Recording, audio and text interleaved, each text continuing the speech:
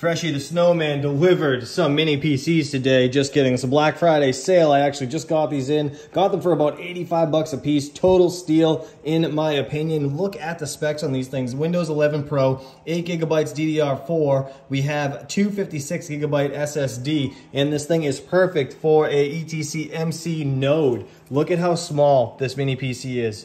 Just in size comparison. Mouse, little PC. Like, absolutely absurd. I can't believe it. And it comes with a little wall mount, so I could actually mount these in the solar trailer. Stay tuned. This is going to be amazing.